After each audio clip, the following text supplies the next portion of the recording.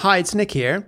I'm here to show you how to use SquareKicker to change the background color of your section on scroll, but also how to change the text color or even image on scroll. So right here we have a section and this is exactly what we are going to show you how to do on this video. Cool, so I head down to my section and I'll just show out a couple key components. So the First thing I'm gonna do is have a shape block. This is gonna be important because this is what we're gonna use to change the background color of your section. So I'm gonna take my shape block and I'm gonna span it across my entire section, just like this. Let's just get this grid to go right to the end here. Sometimes we just need to move it around a little bit more. There we go. Snap it to the edge of my sections. Let's just drag it down. That's working there. Cool. Um, the next thing I also want to notice is that my section on Squarespace is showing the fill height. So there's the edge of my grid, and when I stretch it, I can't get past the grid. So in Squarespace, I just need to go over here and turn off fill screen. That will allow my grid to go right to the top so I can get my shape block to the top of the screen. Um, the next thing I want to do is use scrolling effects to change the background color on scroll.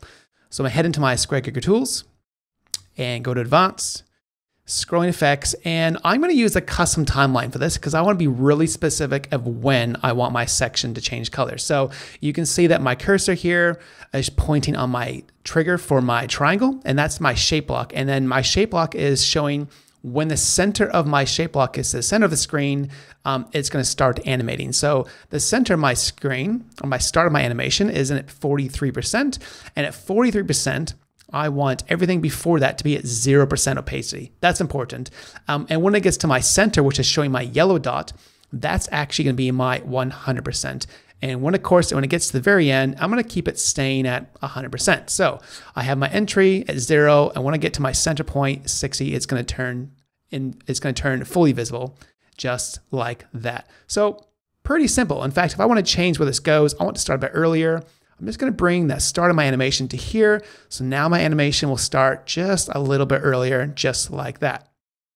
Now, the cool thing is you can see if I hit apply, um, I can see that my text color is kind of, well, it's not really that well visible, um, if you will, beyond that. So if I want to create this effect here where I see that my text color is this color and then it transitions to white, I'm going to want to do something a little bit differently. So I'm going to have two different text blocks. And what I want this to do is actually hide this one on a certain point, And when it turns to black, I want it to reveal. So let's do that here with scrolling effects.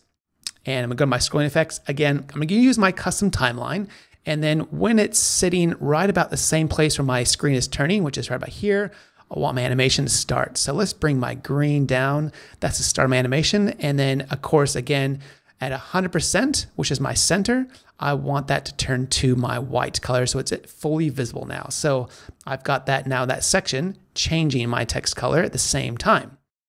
That's looking pretty good. I'm pretty happy with that. So lastly, I want to change this image on scroll. So I've got two different images here.